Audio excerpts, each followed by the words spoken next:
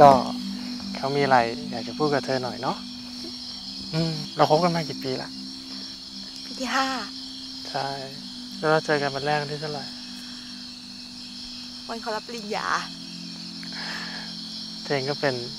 แฟนคนแรกของเขาเนาะแล้วก็เป็นคนเดียวตลอดชีวิตของเขาแล้วเขาก็ตั้งแต่ปีแรกวันแรก ก็ตัดสินใจว่าเออ เขาก็คงจะปล่อยจะไปไม่ได้ แม้ว่าก่อนที่มันจะเริ่มต้นมันก็มีปัญหาอะไรเยอะแยะมากมายเนาะอืมแต่เราก็ผ่านมาได้ได้คบกันนะแล้วก็ตัดสินใจที่เป็นแฟนกันเนาะ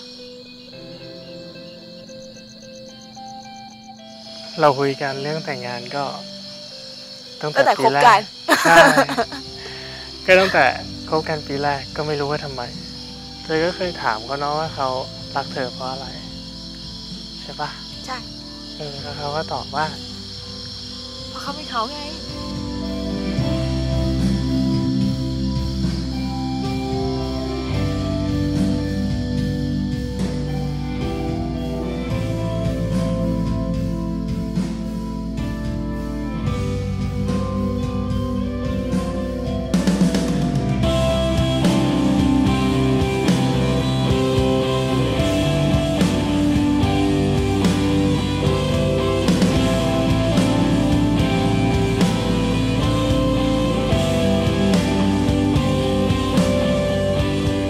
เธออาจจะไม่ใช่ผู้หญิงที่แบบ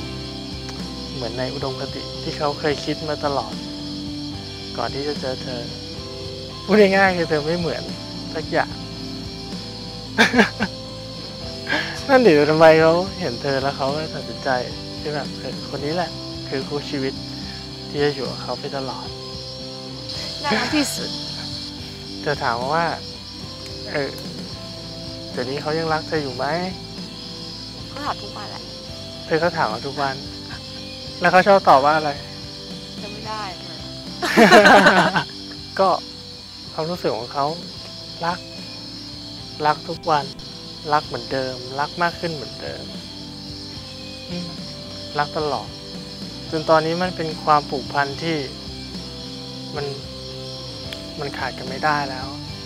มันเป็นสิ่งที่ขาดกันไม่ได้เนาะ อยู่กับเขาตลอดไปนะ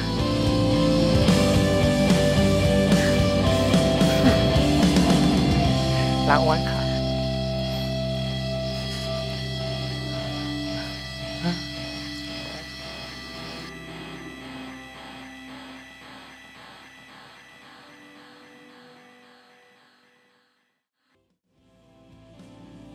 ก็ ไม่คิดว่าเขาจะเซอร์ไพรส์อะค่ะ แปลกใจอะที่แบบไม่คิดว่าเขาจะโรแมนติกได้ขนาดนี้ หัวสมองมันแบบมันโล่งไปหมดเลยอะมันคิดอะไรไม่ออกเลยรู้สึกว่าแบบ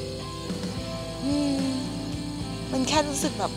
รู้สึกดีมาก จนแบบจนไม่คิดอะไรแล้วอะ